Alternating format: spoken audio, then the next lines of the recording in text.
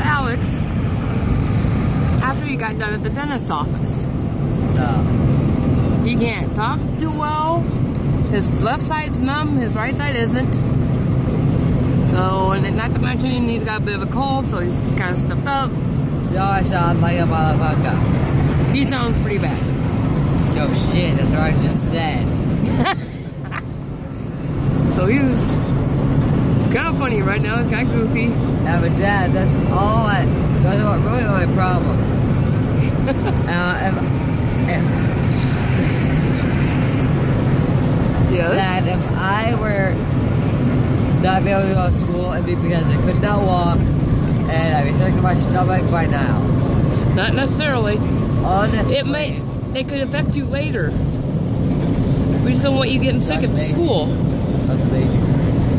I'm gonna at least try to go to school, okay? You recommended you don't go to school. You're not going to school. You said uh, if I was feeling better, I could.